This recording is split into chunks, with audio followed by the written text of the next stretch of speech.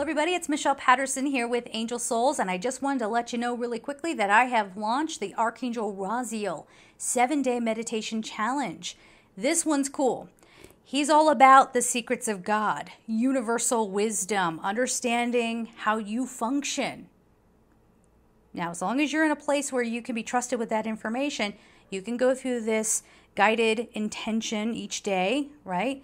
and bring forward some of that understanding for yourself. Now, this will be the one archangel where I will not be putting a general free meditation on YouTube. Why? This isn't for everybody.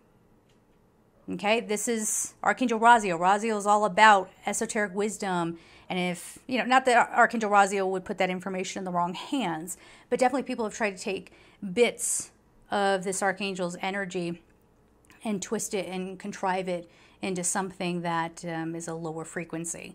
So it's not for everybody. That will not be happening. If you are interested in doing this kind of work, understanding yourself on a deeper level, doing some deep healing and transformation, yes, there's some crossover with other archangels, head on over to gumroad.com slash angel souls.